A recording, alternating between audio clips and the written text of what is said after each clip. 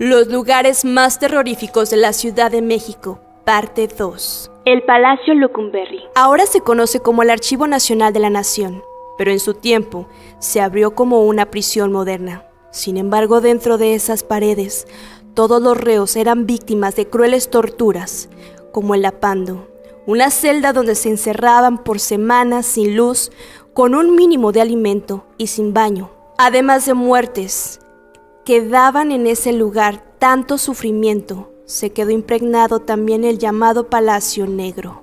La Moira. En 1970, un niño llamado Marcos vivió cosas muy extrañas en esta casa, ubicada en la avenida José Vasconcelos 125, Colonia Miguel de Chapultepec. Según platicaban, se fue de esa casa cuando vio a un niño colgado. Años más tarde, regresó a ver si solo se lo había imaginado, pero esta vez no salió pues lo encontraron colgado dentro de la habitación. Se dice que aún se practican sesiones espiritistas en dicho lugar. El Callejón del Aguacate. Ubicado en Coyoacán, en la calle Francisco Sosa, existen varias historias en dicho callejón, como que vivía una familia que le gustaba jugar a la Ouija, hasta que un día la tabla les dijo que uno de ellos los traicionaría. Días después, uno de ellos los mató a todos. También se dice que en tiempos de la revolución lo usaban como escondites, hasta que alguien los delató y mataron a todos, junto con el delator.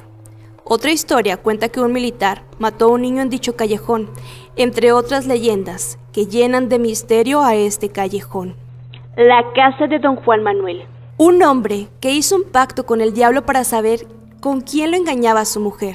El diablo le dijo que saliera y matara al primero que se encontrara a las 11 de la noche, hasta que la culpa lo hizo confesarse. Su penitencia fue rezar al pie de la horca, pero al tercer día lo encontraron colgado. Fue atormentado por los espíritus de los que mató. Dicen que aún se parece y pregunta la hora, pero al decírsela les contesta, Dichoso aquel que sabe la hora en que va a morir.